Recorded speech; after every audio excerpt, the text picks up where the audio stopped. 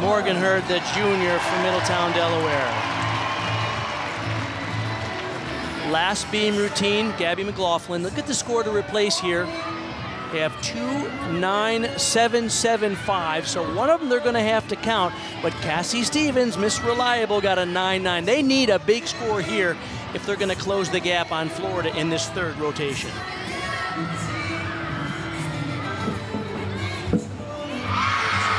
Beautiful back handspring layout.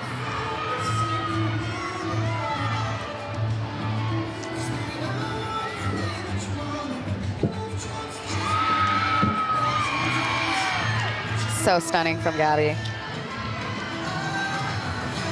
Had a 9-9 last week on this event.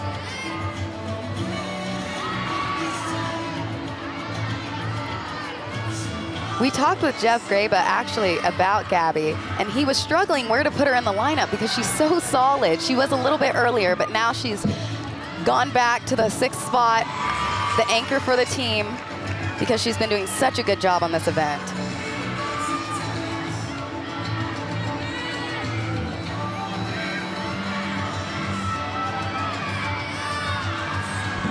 Gainer Pike Yeah. gets it.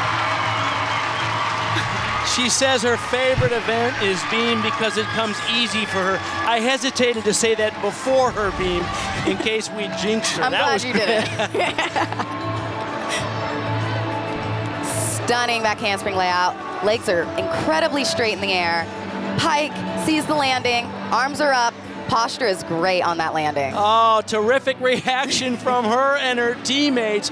A good round because they're going to replace that 9-7-7-5 with whatever McLaughlin gets.